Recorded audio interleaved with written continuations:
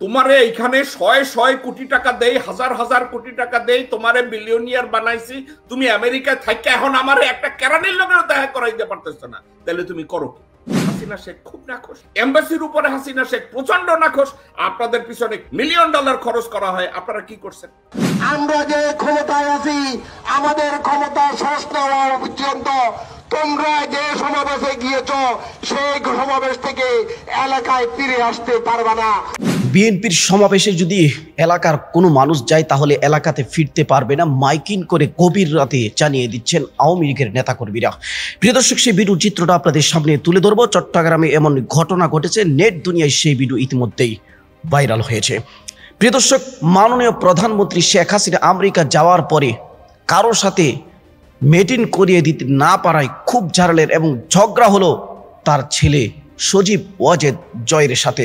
প্রিয় দর্শক, এমনই বিস্ফোরক তথ্য দিয়েছেন আমেরিকাতে ৩৫ বছর ধরে থাকা জ্যাক মিল্টন। প্রিয়দর্শক এক টকশুতে, নাগরিক টিভির টকশুতে সে এমন তথ্য দিয়েছেন। প্রিয় দর্শক, সত্যমিতা, আপনারা সে ভিডিওটা দেখার পরে আপনারা যাচ করবেন। দর্শক, তো চলুন কথা না বাড়িয়ে ভিডিওর মূল পর্বে ঢুকি পড়ি। প্রিয় দর্শক, চট্টগ্রামের মাইকিং করে জানিয়ে দেওয়া যে যদি আমাদের এলাকা থেকে বিএনপির সমাবেশে কেউ উপস্থিত হয়, তাহলে যতদিন আওয়ামী লীগ ক্ষমতায় থাকবে, এই এলাকায় তারা আর ঢুকতে পারবে না। প্রিয় দর্শক, এই ভিডিওটা তুলে ধরার আগে চলুন আমেরিকাতে জয়ের সাথে শেখ হাসিনা সরকারের ধাক্কাধাক্কি হয়েছে, তার সাথে ঝগড়া হয়েছে, এমন তথ্য দিয়েছেন জ্যাক মিল্টন। চলুন সে ভিডিও চিত্রটা আপনাদের সামনে তুলে ধরি।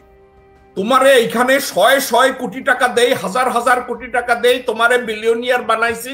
তুমি আমেরিকায় থাকি এখন আমার একটা কেরানির লোকের দেখা করাইতে পারতেছো না। তাহলে তুমি করো হাসিনা শেখ খুব নাখোশ। এম্বাসির উপরে হাসিনা শেখ প্রচণ্ড নাখোশ। আপনাদের পিছনে কোটি কোটি ডলার খরচ মানে মিলিয়ন ডলার খরচ করা হয়। আপনারা কি করছেন? কোন জায়গায় একটা অ্যাপয়েন্টমেন্ট পাইলেন না, আমারে কোথাও দেখা করাইতে পারলেন না। এখন মজার কথা হইছে আমার সোর্স থেকে আমি এই কথাটাকে ভেরিফাই করতেছি না, আমার সোর্স থেকে বলা হয়েছে জয় অ্যারেস্ট হয় নাই, তবে জয়ের সাথে যখন তার মা চিল্লাচিল্লি করতেছিল, গালাগালি করতেছিল, জয় ড্রাঙ্ক ছিল।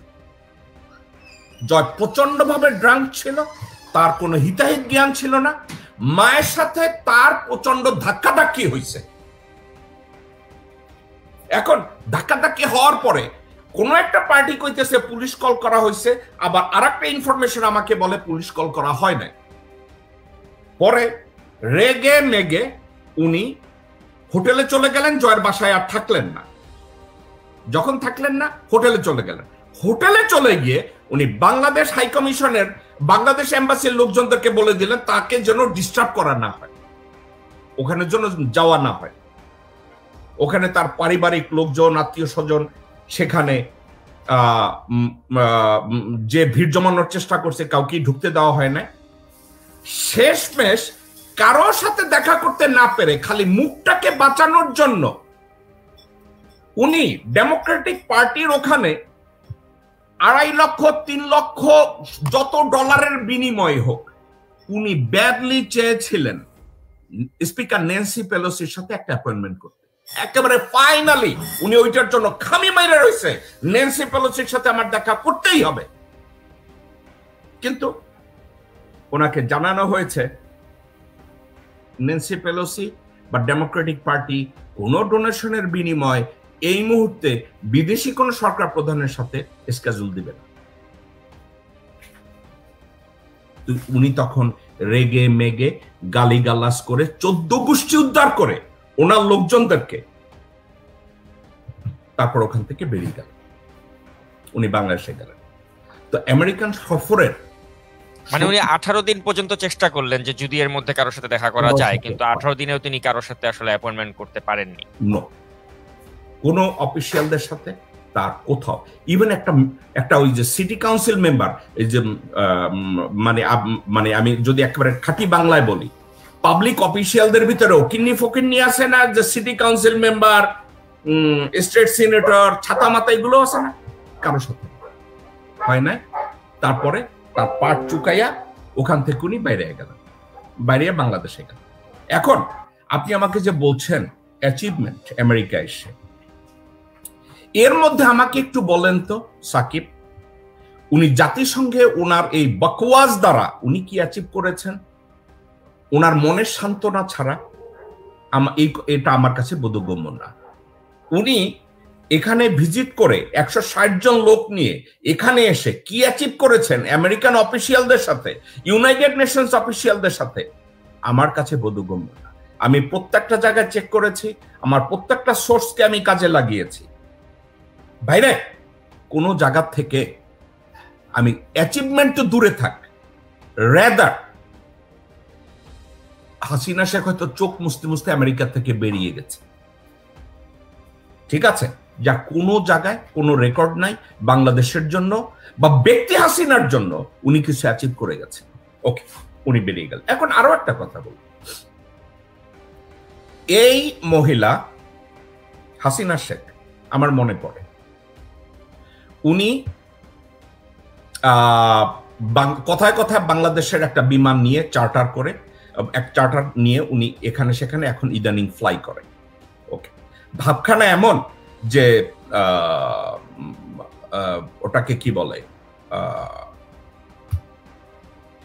ওনার জন্য ওই আমেরিকান প্রেসিডেন্টের জন্য একটা এয়ারফোর্স ওয়ান একটা ডেজিগনেটেড ফ্লাইট আছে না? হাসিনা বাংলাদেশে এখন হয়তোবা ওই বাংলাদেশ বিমানের একটা বিমানকে উনি হয়তো এয়ারফোর্স ওয়ান বানাইতে চাইতেছে। এটা এখন পরিকল্পনা করে এখন এই কথাটা কেন মেনশন করলাম? উনি এই ফ্লাইটটা নিয়ে লন্ডনে গেলেন। হিথ্রো হিথ্রো এয়ারপোর্টে ওনাকে পারমিট করা হয় না কারণ তারা ওই প্লেনটাকে দেখছে একটা চার্টার প্লেন হিসাবে। ওনাকে ল্যান্ডিং করতে দেয় না ওখান থেকে অন্য একটা এয়ারপোর্টে তাকে বলছে যে ওখানে হয়তো ল্যান্ডিং এর পারমিট দিবে। আগের থেকে কিন্তু এগুলো কিছুই অ্যারেঞ্জ করে নাই। ওকে গেছে। সেখান সরি আগের থেকে অ্যারেঞ্জ করার চেষ্টা করেছে ফেল করেছে। পরবর্তীতে আরেক জায়গায় গেছে। এখন এই ফেল করার কারণ কি? আমি আপনাকে বলি। তার এই ভিডিও যদিও সামাজিক যোগাযোগ মাধ্যমে ইতিমধ্যে পুরা ছয় লাভ ভাইরাল হয়ে গেছে, আমার কাছে কিছুটা অন্যরকম মনে হচ্ছে। আপনার কাছে কেমন মনে হচ্ছে আপনি জানাবেন। আমার কাছে অন্যরকম মনে হচ্ছে যে ঘরের এই সমস্ত খবর আপনি জানবেন কীভাবে? আপনার তো জানার কথা না। আর আপনি যে বলেই যাচ্ছেন বলেই যাচ্ছেন, আপনার তো কোনো রেফারেন্স নাই। এজন্য এই সত্য মিথ্যা হবে কিনা সেটা আপনারা ভালো বুঝতে পারবেন। আমার কাছে এগুলা কিছু ঘোলাটে মনে হচ্ছে। প্রিয় দর্শক, তো চলুন এখন আপনাদের সামনে তুলে ধরি। বিএনপির সমাবেশে যদি উপস্থিত হয়, এলাকাবাসীকে ঢুকতে দেওয়া হবে না এলাকাতে। যতদিন তারা ক্ষমতায় থাকবে। চলুন সেই ভিডিওটি। তার সাথে সাথে আরও একটি কথা আপনাদেরকে স্মরণ করিয়ে দিতে চাই। জননেত্রী শেখ হাসিনা গত চোদ্দ বছর যাবৎ এই আমাদের দেশকে শাসন করে যাচ্ছেন। এই উনার ক্ষমতার সময় আমরা কোথাও কি হয়েছে তা বলার অপেক্ষা রাখে না। আমাদের দুম ইউনিয়ন অনেক উন্নয়নের দ্বারা চলমান আছে, অনেক উন্নয়নের দ্বারা অব্যাহত হয়েছে এই উন্নয়নের দ্বারা অব্যাহত রাখার জন্য আমরা সকলের সহযোগিতা কামনা করছি। কিন্তু আমরা পরস্পর শুনতে পাই। আগামীকাল নাকি উন্নয়নের দ্বারাকে ব্যাহত করার জন্য ষড়যন্ত্রমূলক ভাবে জামাত, বিএনপি কোথাও নাকি তারা সমাবেশ দেখেছে। এই সমাবেশকে আমরা প্রত্যাখ্যান করি। চার নং দুম ইউনিয়ন থেকে কোনো ব্যক্তি, কোনো ছাত্র, কোনো যুবক এই সমাবেশে অংশগ্রহণ করবে না। এই সমাবেশে যদি কোনো ছাত্র, কোনো যুবক, কোনো ব্যক্তি, কোনো ব্যবসায়ী যদি এই সমাবেশে অংশগ্রহণ করে, তাদের প্রতি আমাদের ঘোষণা থাকল, তারা যেন বাংলাদেশ আওয়ামী লীগের ক্ষমতা শেষ না হওয়া পর্যন্ত এবং আগামী এক বছর আমরা যে ক্ষমতায় আছি, আমাদের ক্ষমতা শেষ না হওয়া পর্যন্ত তোমরা যে সমাবেশে গিয়েছ, সেই সমাবেশ থেকে এলাকায় ফিরে আসতে পারবে না। তোমরা যেন এলাকায় ফিরে না আসো। এই তাদেরকে প্রতিহত করার জন্য আমি ছাত্রলীগ, যুবলীগ, আওয়ামী লীগের সকল স্তরের নেতা কর্মীদেরকে উদাত্ত আহ্বান জানাব। তাদেরকে একে একে চিহ্নিত দর্শক, স্বাধীন দেশের নাগরিক হিসাবে প্রত্যেকটা মানুষ নিজ নিজ দলকে সাপোর্ট করার অধিকার আছে। যদি কোনো অপ্রীতিকর ঘটনা না ঘটাই তাহলে সভা সভা, সমাবেশ, বিক্ষোভ, মিছিল সব কিছু করার নাগরিক অধিকার প্রত্যেকেরই আছে। সেখানে বাধা দিতে, বাধা দেওয়া, এটা কিন্তু একদম, এটা সংবিধান বিরোধী একটি কাজ। কারণ এলাকাতে আসতে পারবে না, যতদিন ক্ষমাইতা থাকবে। এই একটা বক্তব্য, এটা কিন্তু যে কেউ শুনলে, তার দলের মানুষ শুনলেও তাকে তুচ্ছ তাচ্ছিল্য করবে, তার এই বক্তব্যের বিরোধিতা তারা করবে। কোনো সচেতন নাগরিক এই বক্তব্যকে সমর্থন করতে পারে না, এমন বক্তব্য দিতে পারে না। প্রিয় আপনার দৃষ্টিতে ভিডিওটি কেমন হয়েছে, অবশ্যই কমেন্ট সেকশনে জানিয়ে যাবেন। আসসালামু আলাইকুম রহমতুল্লাহ।